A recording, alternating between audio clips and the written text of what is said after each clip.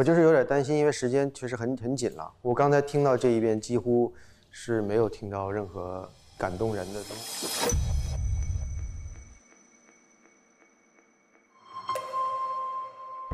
我们没有练习过两件事情加在一起，我们我们跟老师们就是一样的担心，可是我们只是会需要努力，and then 就是把舞安排好玩，and then 唱歌，and then 把这两个合起来，就就可以这样子。反正就是在这个歌曲里，我是觉得，呃，还是要有一个唱和跳，要还是要有一定的分开一点点。我们不能说为了形式感而去而去形式感，为了跳而去跳，为了唱而去唱。在月姐的那第一次副歌出现之前，我觉得姐姐们都可以是诉说的感觉多一些，也不需要刻意的要唱出来。比如说啊，欣姐你的那个唱句，你就可以沉下来。我是觉得你声音好听是在低音，在诉说的感觉，所以你就把你唱成诉说的就好了。到了月姐的这个副歌的时候，哎，你还是要轻轻。刚才也有点用力多了一点对，啊再轻再轻一点。好。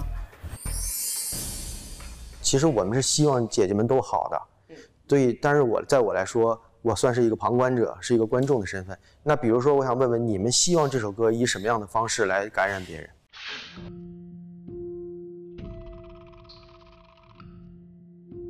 我们大部分都是是唱歌，和我们没在唱的时候，我们会把歌词用身体去表现出来，这是大部分现在的简单的呃的重点。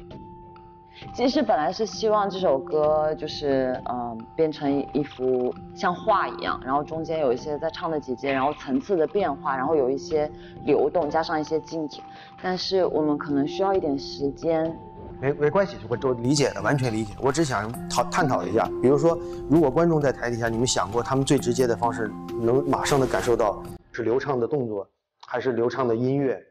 声音、情感？就是你们觉得，因为我对我来说，观众其实很重要，因为他们打分，然后现场观众能啊，包括这个作品，我现在听它也是它也是传播出去的，嗯，所以即便是大家是不是没看到舞蹈和画面的时候，咱们是不是也可以通过一些东西来来吸引到观众或或者是听众，对吧？